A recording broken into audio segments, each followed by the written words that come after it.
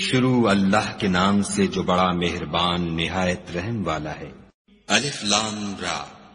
ये बड़ी दानाई की किताब की आयतें हैं। क्या लोगों को ताज्जुब हुआ कि हमने उन्हीं में से एक मर्द को हुक्म भेजा कि लोगों को डर सुना दो और ईमान लाने वालों को खुशखबरी दे दो कि उनके परवरदिगार के यहाँ उनका सच्चा दर्जा है। ऐसे शख्स की निस्बत काफिर कहते हैं कि ये तो सरीह जादूगर है। तुम्हारा परवरदिगार तो खुदा ही है, जिसने आसमान और ज़मीन छह दिन में बनाए। फिर अर्श तख्त शाही पर कायम हुआ।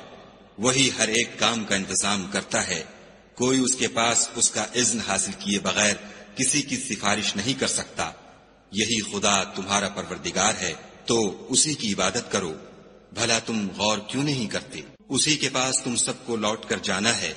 खुदा का वादा सच्चा है, वही खलकत को पहली बार पैदा करता है, फिर वही उसको दोबारा पैदा करेगा, ताकि ईमान वालों और नेक काम करने वालों को इंसाफ के साथ बदला दे, और जो काफिर हैं, उनके लिए पीने को निहायत गर्म पानी और दर्द देने वाला अजाब होगा, क्योंकि खुदा से इनकार करते थे। वही तो है जिसने सूरज को रोशन और चाँद को मुनव्वर बनाया और चाँद की मंजिलें मुकर्र की, ताकि तुम बरसों का शुमार और कामों का हिसाब मालूम करो। ये सब कुछ खुदा ने तदबीर से पैदा किया है। समझने वालों के लिए वो अपनी आयतें खोल खोल कर बयान फरमाता है। रात और दिन के एक दूसरे के पीछे आने जाने में और जो चीज़ें खुदा ने आसमान और ज़मीन में पैदा की हैं, सब में डरने वालों के लिए निशानियाँ हैं। जिन लोगों को हमसे मिलने की तो नहीं और दुनिया की ज़िंदगी से खुश और इसी पर मुतमिन हो बैठे और हमारी निशानियों से गाफिल हो रहे हैं, उनका ठिकाना उन आमाल के सबब जो वो करते हैं, दोजख है। और जो लोग ईमान लाए और नेक काम करते रहे, उनको परवरदिगार उनके ईमान की वजह से ऐसे महलों की राह दिखाएगा कि उनके नीचे नेमत के बागों में नहरें बह रही होंगी। जब वो उनमें उनकी नेमतों को देखेंगे तो बेसाख्ता कहेंगे सुबहान अल्लाह और आपस में उनकी दुआ सलाम अलैकुम होगी और उनका आखिरी कौल ये होगा कि खुदा रब्बुल आलमीन की हमद और उसका शुक्र है। और अगर खुदा लोगों की बुराई में जल्दी करता जिस तरह वो तलब खैर में जल्दी करते हैं तो उनकी उम्र की मियाद पूरी हो चुकी होती। सो जिन लोगों को हमसे मिलने की तो नहीं, उन्हें हम छोड़े रखते हैं कि अपनी सरकशी में बहकते रहें। और जब इंसान को तकलीफ़ पहुँचती है तो लेटा और बैठा और खड़ा हर हाल में हमें पुकारता है। फिर जब हम उस तकलीफ़ को उससे दूर कर देते हैं तो बेलिहाज हो जाता और इस तरह गुजर जाता है कि गोया किसी तकलीफ़ पहुँचने पर हमें कभी पुकारा ही न था। इसी तरह हद से निकल जाने वालों को उनके आमाल आरास्ता करके दिखाए गए हैं। और तुमसे पहले हम कई उम्मतों को जब उन्होंने जुल्म इख्तियार किया, हलाक कर चुके हैं और उनके पास पैगंबर खुली निशानियाँ लेकर आए, मगर वो ऐसे न थे कि ईमान लाते। हम गुनाहगारों को इसी तरह बदला दिया करते हैं। फिर हमने उनके बाद तुम लोगों को मुल्क में खलीफा बनाया, ताकि देखें कि तुम कैसे काम करते हो। और जब उनको हमारी आयतें पढ़कर सुनाई जाती हैं तो जिन लोगों को हमसे मिलने की उम्मीद नहीं, वो कहते हैं कि या तो इसके सिवा कोई और कुरान बना लाओ या इसको बदल दो। कह दो कि मुझको इख्तियार नहीं है कि इसे अपनी तरफ़ से बदल दूँ। मैं तो उसी हुक्म का ताबे हूँ जो मेरी तरफ़ आता है। अगर मैं अपने परवरदिगार की नाफरमानी करूँ तो मुझे बड़े सख्त दिन के अजाब से खौफ आता है। ये भी कह दो कि अगर खुदा चाहता तो ना तो मैं ही ये किताब तुमको पढ़कर सुनाता और ना वही तुम्हें इससे वाकिफ करता। मैं इससे पहले तुम में एक उम्र रहा हूँ और कभी एक कलिमा भी इस तरह का नहीं कहा, भला तुम समझते नहीं। तो उससे बढ़कर जालिम कौन होगा जो खुदा पर झूठ इफ्तरा करे और उसकी आयतों को झुटलाए? बेशक गुनाहगार फलाह नहीं पाएँगे। और ये लोग खुदा के सिवा ऐसी चीज़ों की परस्तिश करते हैं, जो न उनका कुछ बिगाड़ सकती हैं और न कुछ भला ही कर सकती हैं। और कहते हैं कि ये खुदा के पास हमारी सिफारिश करने वाले हैं। कह दो, क्या तुम खुदा को ऐसी चीज़ बताते हो जिसका वजूद उसे न आसमानों में मालूम होता है और न ज़मीन में? वो पाक है और उसकी शान उनके शिरक करने से बहुत बुलंद है। और सब लोग पहले एक ही उम्मत, यानी एक ही मिल्लत पर थे। फिर जुदा जुदा हो गए। और अगर एक बात जो तुम्हारे परवरदिगार की तरफ़ से पहले हो चुकी है न होती तो जिन बातों में वो इख्तलाफ करते हैं, उनमें फैसला कर दिया जाता। और कहते हैं कि उस पर उसके परवरदिगार की तरफ़ से कोई निशानी क्यों नाजिल नहीं हुई। कह दो कि गैब का इल्म तो खुदा ही को है, सो तुम इंतज़ार करो, मैं भी तुम्हारे साथ इंतज़ार करता हूँ। और जब हम लोगों को तकलीफ़ पहुँचने के बाद अपनी रहमत से आसाइश का मज़ा चखाते हैं तो वो हमारी आयतों में हीले करने लगते हैं। कह दो कि खुदा बहुत जल्द हीला करने वाला है, और जो हीले तुम करते हो, हमारे फरिश्ते उनको लिखते जाते हैं। वही तो है जो तुमको जंगल और दरिया में चलने, फिरने और सैर करने की तौफीक देता है। यहाँ तक कि जब तुम कश्तियों में सवार होते हो, और कश्तियाँ पाकिजा हवा के नरम नरम झोंकों से सवारों को लेकर चलने लगती हैं, और वो उनसे खुश होते हैं तो नागहा जन्नाटे की हवा चल पड़ती है। और लहरें हर तरफ़ से उन पर जोश मारती हुई आने लगती हैं और वो ख्याल करते हैं कि अब तो लहरों में घिर गए। तो उस वक्त खालिस खुदा ही की इबादत करके उससे दुआ मांगने लगते हैं कि, ए खुदा, अगर तू हमको इससे नजात बख्शे तो हम तेरे बहुत ही शुक्रगुजार हों। लेकिन जब वो उनको नजात दे देता है तो मुल्क में नाहक शरारत करने लगती है। लोगो, तुम्हारी शरारत का बबाल तुम्हारी ही जानों पर होगा। तुम दुनिया की ज़िंदगी के फ़ायदे उठा लो, फिर तुमको हमारे ही पास लौट कर आना है। उस वक्त हम तुमको बताएँगे जो कुछ तुम किया करते थे। दुनिया की ज़िंदगी की मिसाल मेह की सी है कि हमने उसको आसमान से बरसाया, फिर उसके साथ सब्जा, जिसे आदमी और जानवर खाते हैं, मिलकर निकला। यहाँ तक कि ज़मीन सब्जे से खुशनुमा और आरास्ता हो गई, और ज़मीन वालों ने ख्याल किया कि वो इस पर पूरी दस्तरस रखते हैं। नागहा रात को या दिन को हमारा हुक्म अजाब आ पहुँचा तो हमने उसको काट कर ऐसा कर डाला कि गोया कल वहाँ कुछ था ही नहीं। जो लोग गौर करने वाले हैं, उनके लिए हम अपनी कुदरत की निशानियाँ इसी तरह खोल खोल कर बयान करते हैं। और खुदा सलामती के घर की तरफ़ बुलाता है और जिसको चाहता है सीधा रास्ता दिखाता है। जिन लोगों ने नेकुकारी की उनके लिए भलाई है और मजीद बरा और भी। और उनके मुंहों पर ना तो स्याही छाएगी और न रसुआई यही जन्नती हैं कि उसमें हमेशा रहेंगे। और जिन्होंने बुरे काम किए तो बुराई का बदला वैसा ही होगा और उनके मुंहों पर जिल्लत छा जाएगी। और कोई उनको खुदा से बचाने वाला न होगा। उनके मुंहों की स्याही का यह आलम होगा कि उन पर गोया अंधेरी रात के टुकड़े ओढ़ा दिए गए हैं। यही दोजखी हैं कि हमेशा उसमें रहेंगे। और जिस दिन हम उन सबको जमा करेंगे, फिर मुशरिकों से कहेंगे कि तुम और तुम्हारे शरीक अपनी अपनी जगह ठहरे रहो तो हम उनमें तफरीका डाल देंगे। और उनके शरीक उनसे कहेंगे कि तुम हमको तो नहीं पूजा करते थे। हमारे और तुम्हारे दरमियान खुदा ही गवाह काफ़ी है। हम तुम्हारी परस्तिश से बिल्कुल बेखबर थे। वहाँ हर शख्स अपने अमाल की जो उसने आगे भेजे होंगे, आजमाइश कर लेगा और वो अपने सच्चे मालिक की तरफ़ लौटाए जाएँगे। और जो कुछ वो बहुतान बांधा करते थे, सब उनसे जाता रहेगा। उनसे पूछो कि तुमको आसमान और ज़मीन में रिज्क कौन देता है? ये तुम्हारे कानों और आँखों का मालिक कौन है? और बेजान से जानदार कौन पैदा करता है? और जानदार से बेजान कौन पैदा करता है? और दुनिया के कामों का इंतज़ाम कौन करता है? झट कह देंगे कि खुदा। तो कहो कि फिर तुम खुदा से डरते क्यों नहीं? यही खुदा तो तुम्हारा परवरदिगार बरहक है, और हक बात के ज़ाहिर होने के बाद गुमराही के सिवा है ही क्या? तो तुम कहाँ फिरे जाते हो? इसी तरह खुदा का इरशाद उन नाफरमानों के हक में साबित होकर रहा कि ये ईमान नहीं लाएँगे।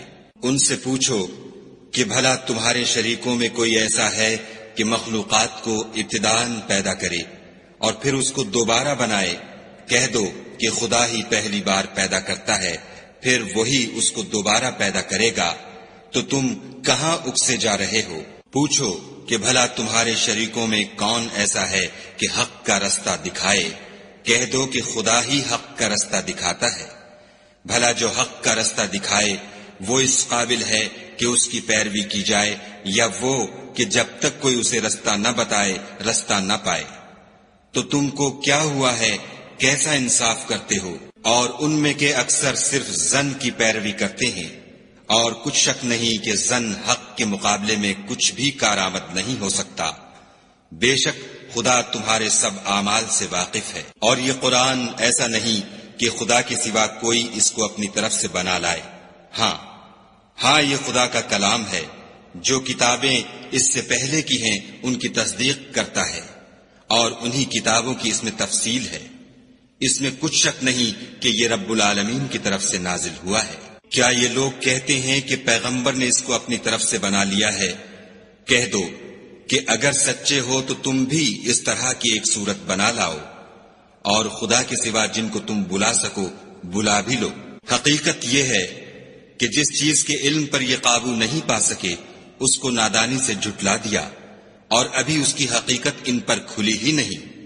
इसी तरह जो लोग इनसे पहले थे, उन्होंने तकजीब की थी, सो देख लो कि जालिमों का कैसा अंजाम हुआ। और उनमें से कुछ तो ऐसे हैं कि इस पर ईमान ले आते हैं और कुछ ऐसे हैं कि ईमान नहीं लाते। और तुम्हारा परवरदिगार शरीरों से खूब वाकिफ है। और अगर ये तुम्हारी तकजीब करें तो कह दो कि मुझको मेरे अमाल का बदला मिलेगा और तुमको तुम्हारे अमाल का। तुम मेरे अमलों के जवाब दे नहीं हो और मैं तुम्हारे अमलों का जवाब दे नहीं हूँ। और उनमें बाज ऐसे हैं कि तुम्हारी तरफ़ कान लगाते हैं तो क्या तुम बहरों को सुनाओगे, अगरचे कुछ भी सुनते समझते न हो? और बाज ऐसे हैं कि तुम्हारी तरफ़ देखते हैं तो क्या तुम अंधों को रास्ता दिखाओगे, अगरचे कुछ भी देखते भालते न हो?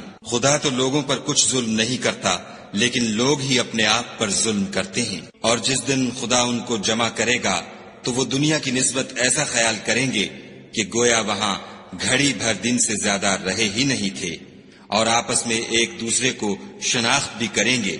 जिन लोगों ने खुदा के रूबरू हाजिर होने को जुटलाया वो खसारे में पड़ गए और राहयाब न हुए।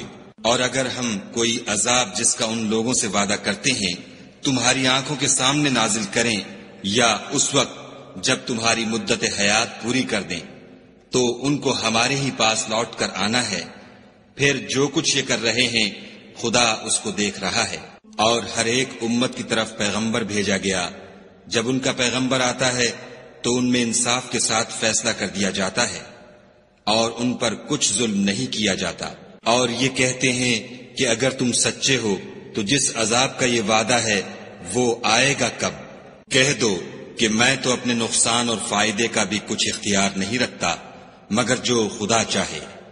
हर एक उम्मत के लिए मौत का एक वक्त मुकर्र है। जब वो वक्त आ जाता है तो एक घड़ी भी देर नहीं कर सकते और न जल्दी कर सकते हैं। कह दो कि भला देखो तो अगर इसका अजाब तुम पर नागहा आ जाए रात को या दिन को तो फिर गुनाहगार किस बात की जल्दी करेंगे? क्या जब वो आ वाक़ होगा, तब उस पर ईमान लाओगे? उस वक्त कहा जाएगा कि और अब ईमान लाए। इसी के लिए तो तुम जल्दी मचाया करते थे। फिर जालिम लोगों से कहा जाएगा कि अजाब दायमी का मज़ा चखो। अब तुम उन्हीं अमाल का बदला पाओगे जो दुनिया में करते रहे। और तुमसे दरियाफ्त करते हैं कि आया ये सच है। कह दो हाँ खुदा की कसम सच है। और तुम भाग कर खुदा को आजिज नहीं कर सकोगे। और अगर हर एक नाफरमान शख्स के पास रुए ज़मीन की तमाम चीज़ें हों तो अजाब से बचने के बदले में सब दे डाले। और जब वो अजाब को देखेंगे तो पछताएँगे और निदामत को छुपाएँगे और उनमें इंसाफ के साथ फैसला कर दिया जाएगा। और किसी तरह का उन पर जुल्म नहीं होगा। सुन रखो कि जो कुछ आसमानों और ज़मीन में है, सब खुदा ही का है। और ये भी सुन रखो कि खुदा का वादा सच्चा है, लेकिन अक्सर लोग नहीं जानते। वही जान बख्शता और वही मौत देता है, और तुम लोग उसी की तरफ़ लौट कर जाओगे। लोगो, तुम्हारे पास तुम्हारे परवरदिगार की तरफ़ से नसीहत और दिलों की बीमारियों की शिफा और मोमिनों के लिए हिदायत और रहमत आ पहुँची है। कह दो कि ये किताब खुदा के फजल और उसकी मेहरबानी से नाजिल हुई है। तो चाहिए कि लोग इससे खुश हों। ये उससे कहीं बेहतर है जो वो जमा करते हैं। कहो कि भला देखो तो खुदा ने तुम्हारे लिए जो रिज्क नाजिल फरमाया तो तुमने उसमें से बाज को हराम ठहराया और बाज को हलाल। उनसे पूछो, क्या खुदा ने इसका तुम्हें हुक्म दिया है, या तुम खुदा पर इफ्तरा करते हो? और जो लोग खुदा पर इफ्तरा करते हैं, वो कयामत के दिन की नस्बत क्या ख्याल रखते हैं? बेशक खुदा लोगों पर मेहरबान है, लेकिन अक्सर लोग शुक्र नहीं करते। और तुम जिस हाल में होते हो या कुरान में से कुछ पढ़ते हो, या तुम लोग कोई और काम करते हो, जब उसमें मसरूफ होते हो, हम तुम्हारे सामने होते हैं और तुम्हारे परवरदिगार से जर्रा बराबर भी कोई चीज़ पोशीदा नहीं है। न ज़मीन में और न आसमान में, और न कोई चीज़ उससे छोटी है या बड़ी, मगर किताब रोशन में लिखी हुई है। सुन रखो कि जो खुदा के दोस्त हैं, उनको न कुछ खौफ होगा और न वो गमनाक होंगे, जो ईमान लाए और परहेजगार रहे। उनके लिए दुनिया की ज़िंदगी में भी बशारत है और आखिरत में भी। खुदा की बातें बदलती नहीं, यही तो बड़ी कामयाबी है। और ए पैगंबर सल्लल्लाहु अलैहि उन लोगों की बातों से आजुर्दा न होना, क्योंकि इज़्ज़त सब खुदा ही की है, वो सब कुछ सुनता और जानता है। सुन रखो कि जो मखलूक आसमानों में है और जो ज़मीन में है, सब खुदा ही के बंदे और उसके ममलूक हैं। और ये जो खुदा के सिवा अपने बनाए हुए शरीकों को पुकारते हैं, वो किसी और चीज़ के पीछे नहीं चलते, सिर्फ़ जन के पीछे चलते हैं और महज अटकलें दौड़ा रहे हैं। वही तो है जिसने तुम्हारे लिए रात बनाई, ताकि उसमें आराम करो, और रोज़े रोशन बनाया, ताकि उसमें काम करो। जो लोग मादा समात रखते हैं, उनके लिए इनमें निशानियाँ हैं। बाज लोग कहते हैं कि खुदा ने बेटा बना लिया है। उसकी जात औलाद से पाक है और वो बेनियाज है। जो कुछ आसमानों में और जो कुछ ज़मीन में है, सब उसी का है। ए इफ्तरा परदाजो, तुम्हारे पास इस औल बातिल की कोई दलील नहीं है। तुम खुदा की नस्बत ऐसी बात क्यों कहते हो जो जानते नहीं? कह दो कि जो लोग खुदा पर झूठ बांधते हैं, फलाह नहीं पाएँगे। उनके लिए जो फ़ायदे हैं दुनिया में हैं। फिर उनको हमारी ही तरफ़ लौट कर आना है। उस वक्त हम उनको अजाब शदीद के मज़े चखाएँगे, क्योंकि कुफर की बातें किया करते थे। और उनको नूह का किस्सा पढ़कर सुना दो। जब उन्होंने अपनी कौम से कहा कि, ए कौम, अगर तुमको मेरा तुम में रहना और खुदा की आयतों से नसीहत करना नागवार हो तो मैं तो खुदा पर भरोसा रखता हूँ। तुम अपने शरीकों के साथ मिलकर एक काम जो मेरे बारे में करना चाहो मुकर्र कर लो। और वो तुम्हारी तमाम जमात को मालूम हो जाए और किसी से पोशीदा न रहे, फिर वो काम मेरे हक में कर गुजरो और मुझे मोहलत न दो। और अगर तुमने मुँह फेर लिया तो तुम जानते हो कि मैंने तुमसे कुछ मुआवजा नहीं मांगा। मेरा मुआवजा तो खुदा के जिम्मे है और मुझे हुक्म हुआ है कि मैं फर्मा बरदारों में रहूँ। लेकिन उन लोगों ने उनकी तकजीब की तो हमने उनको और जो लोग उनके साथ कश्ती में सवार थे, सबको तूफ़ान से बचा लिया। और उन्हें ज़मीन में खलीफा बना दिया। और जिन लोगों ने हमारी आयतों को जुटलाया, उनको गर्क कर दिया। तो देख लो कि जो लोग डराए गए थे, उनका कैसा अंजाम हुआ। फिर नूह के बाद हमने और पैगंबर अपने अपनी कौम की तरफ़ भेजे। तो वो उनके पास खुली निशानियाँ लेकर आए। मगर वो लोग ऐसे न थे कि जिस चीज़ की पहले तकजीब कर चुके थे, उस पर ईमान ले आते। इसी तरह हम ज्यादती करने वालों के दिलों पर मोहर लगा देते हैं। फिर उनके बाद हमने मूसा और हारून को अपनी निशानियाँ देकर फिराउन और उसके सरदारों के पास भेजा तो उन्होंने तकबर किया और वो गुनाहगार लोग थे। तो जब उनके पास हमारे हाथ से हक आया तो कहने लगे कि ये तो सरीह जादू है। मूसा ने कहा, क्या तुम हक के बारे में जब वो तुम्हारे पास आया, ये कहते हो कि ये जादू है? हालाँकि जादूगर फलाह नहीं पाने के। वो बोले क्या तुम हमारे पास इसलिए आए हो कि जिस राह पर हम अपने बाप दादा को पाते रहे हैं, उससे हमको फेर दो, और इस मुल्क में तुम दोनों ही की सरदारी हो जाए, और हम तुम पर ईमान लाने वाले नहीं हैं। और फिर ने हुक्म दिया कि सब कामिल फन जादूगरों को हमारे पास ले आओ। जब जादूगर आए तो मूसा ने उनसे कहा कि जो तुमको डालना हो, डालो। जब उन्होंने अपनी रस्सियों और लाठियों को डाला तो मूसा ने कहा कि जो चीज़ें तुम बनाकर लाए हो, जादू है। खुदा उसको अभी नेस्त नाबूद कर देगा।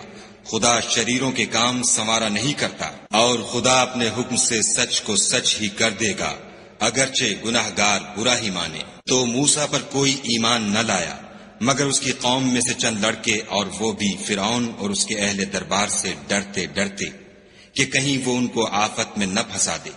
और फिरौन मुल्क में मुतकबिर मुतगलिब और किब्र कुफ्र में हद से बड़ा हुआ था। और मूसा ने कहा कि कौम, अगर तुम खुदा पर ईमान लाए हो तो अगर दिल से फर्मा बरदार रहो तो उसी पर भरोसा रखो। तो वो बोले कि हम खुदा ही पर भरोसा रखते हैं। ऐ हमारे परवरदिगार, हमको जालिम लोगों के हाथ से आजमाइश में न डाल और अपनी रहमत से कौम कुफ्फार से नजात बख्श। और हमने मूसा और उसके भाई की तरफ़ वही भेजी कि अपने लोगों के लिए मिस्र में घर बनाओ। और अपने घरों को किबला, यानी मस्जिदें ठहराओ, और नमाज़ पढ़ो, और मोमिनों को खुशखबरी सुना दो। और मूसा ने कहा, ऐ हमारे परवरदिगार, तूने फिराउन और उसके सरदारों को दुनिया की ज़िंदगी में बहुत सा साजो बर्ग और मालो जर दे रखा है। ऐ परवरदिगार, इनका माल ये है कि तेरे रस्ते से गुमराह कर दें।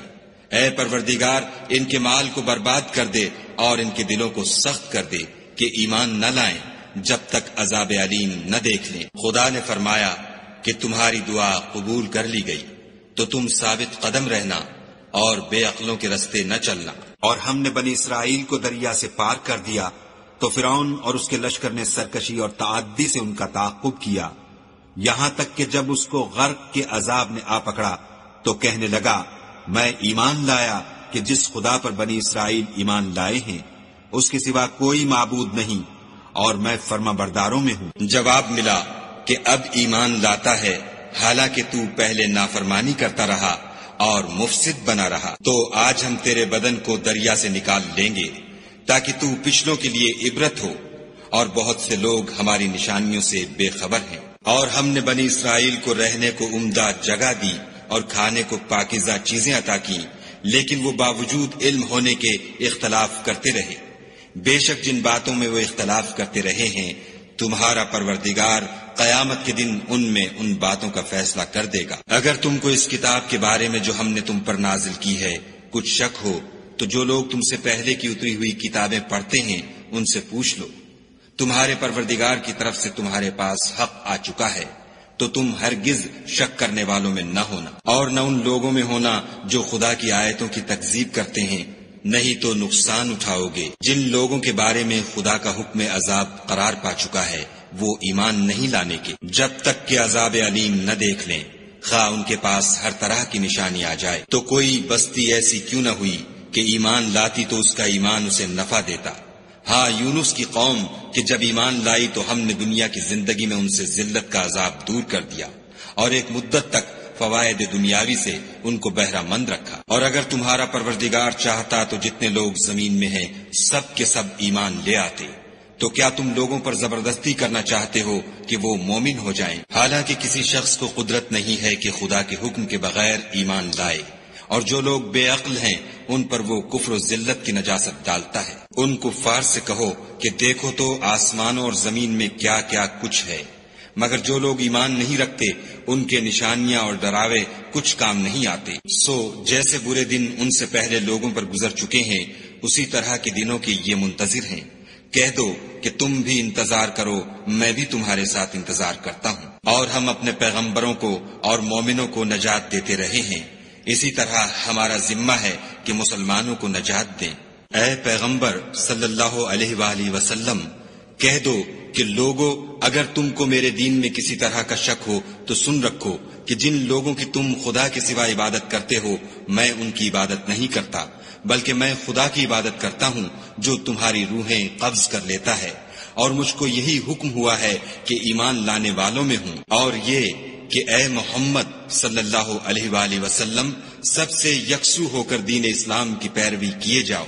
और मुशरिकों में हरगिज न हो और खुदा को छोड़कर ऐसी चीज़ को न पुकारना, जो न तुम्हारा कुछ भला कर सके और न कुछ बिगाड़ सके। अगर ऐसा करोगे तो जालिमों में हो जाओ। और अगर खुदा तुमको कोई तकलीफ़ पहुँचाए तो उसके सिवा उसका कोई दूर करने वाला नहीं। और अगर तुमसे भलाई करनी चाहे तो उसके फजल को कोई रोकने वाला नहीं। वो अपने बंदों में से जिसे चाहता है, फ़ायदा पहुंचाता है, और वो बख्शने वाला मेहरबान है। कह दो कि लोगों तुम्हारे परवरदिगार के यहाँ से तुम्हारे पास हक आ चुका है। तो जो कोई हिदायत हासिल करता है तो हिदायत से अपने ही हक में भलाई करता है। और जो गुमराही इख्तियार करता है तो गुमराही से अपना ही नुकसान करता है। और मैं तुम्हारा वकील नहीं हूँ। और ए पैगंबर वसल्लम, तुमको जो हुक्म भेजा जाता है, उसकी पैरवी किए जाओ। और तकलीफों पर सब्र करो। यहाँ तक कि खुदा फैसला कर दे। और वो सबसे बेहतर फैसला करने वाला है।